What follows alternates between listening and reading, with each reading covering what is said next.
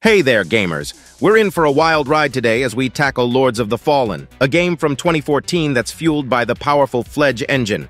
But fear not, if you're rocking a low-end PC, we're about to embark on a journey to squeeze every ounce of performance out of this title, so these are the minimum system requirements of the game. Now it's time to turn that underpowered machine into a gaming beast. So grab your tools, Buckle up and let's dive into the nitty-gritty details of optimizing Lords of the Fallen for the ultimate low-end gaming experience. Let's get started.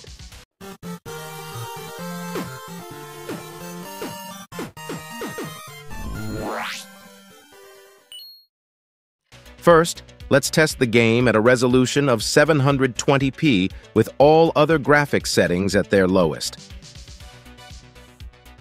My CPU is struggling with this game, and right now it's barely playable as I'm only getting 15 frames per second.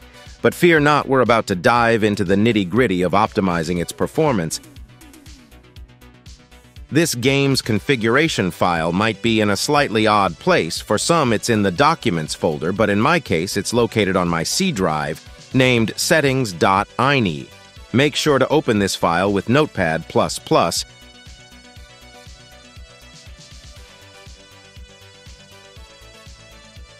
We're starting with the resolution, and you can create any custom resolution you want.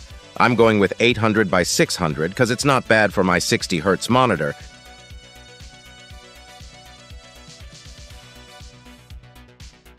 You can also disable various elements like post-processing quality, texture quality, though it won't disable textures completely, shadows quality, and as well as geometry quality,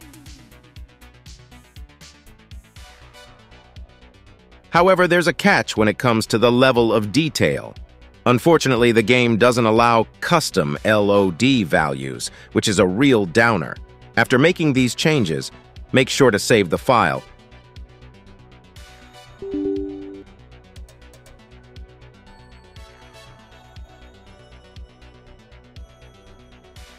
You should see a noticeable improvement in performance.